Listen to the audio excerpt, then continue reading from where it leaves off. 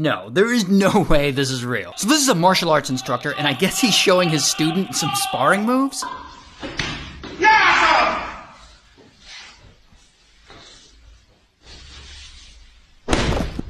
No, this is like a, a, comedy bit from like an internet sketch something. That's not real. There's no way this John Kreese here is teaching his students the so long gay Bowser move. So long gay Bowser. But if it is real, look, I'm happy with my career choices, but I kind of want his job. It looks fun.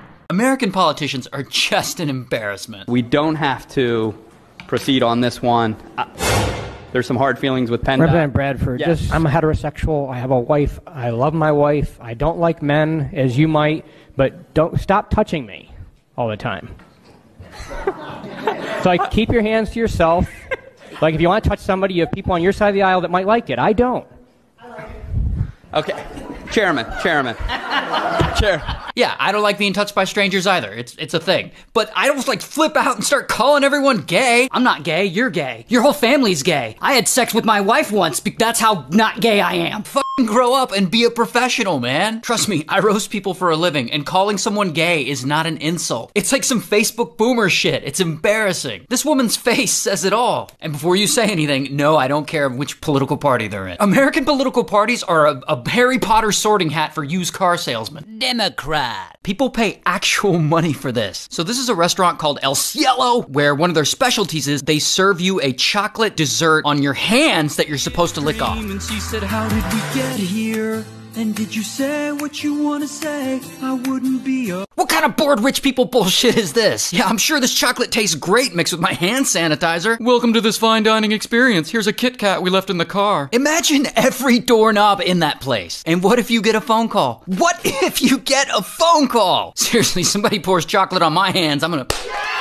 So this is probably gonna make you mad. So this dude here gets pulled over for going 37 in a 25. But what the cop doesn't know is that he is the sheriff. Can I get your driver's license real quick, Mr. Bryant? You really want my driver's license? I just want to look at it. Huh? I said I just I'm the sheriff. I'm All not right. giving you my license. I'm the sheriff. Okay. Okay? I'm not giving you my driver's license. Alrighty. All right? I appreciate you. You realize I'm the sheriff of this county? Yes, sir. Okay, I'm the sheriff of this county. All right? Okay. You pulled me over. You've made your contact. You gonna Okay. write me a ticket? I mean, I wasn't going to. I was just going to make sure you had your driver's ticket? license on I got my driver's license. I was just wanting. To, I was just asking to look at it. This is some abuse of power bullshit. I swear, I could take a SpaceX shuttle to the moon and somehow a cop would find me and write me a ticket for something. You know exactly what would happen if this was you and you refused to show your license, jumped out of a car, and approached a cop in anger like that. But hey, don't worry. This video's a few months old, and the sheriff has since learned his lesson when he received no punishment. So people are going crazy over this one. So we got the Queen's Guard here, and they're doing the royal whatever the hell, and they march over a little boy. Yeah, this one's everywhere. Someone even edited that Ludacris song into it. And that someone was me. But listen, as crazy as this video is, this isn't even the worst thing the royal family's done to a kid.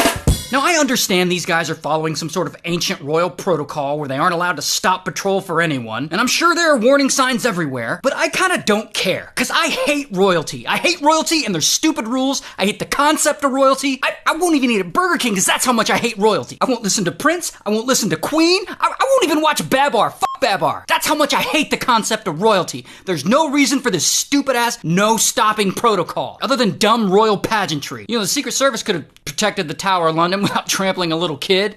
Just saying, you aren't ready for this one. So, this is an actual Chinese commercial for laundry detergent. It's a little old, but it's definitely real.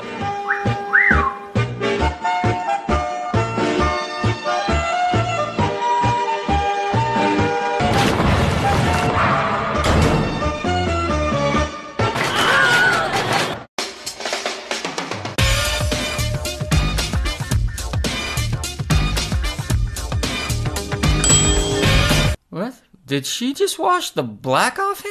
You can't just use laundry detergent to change races. You- You're not, you're not a GTA barber. Well, she's gonna be really disappointed when she learns that cold water causes shrinkage. So I went to a Call of Duty tournament.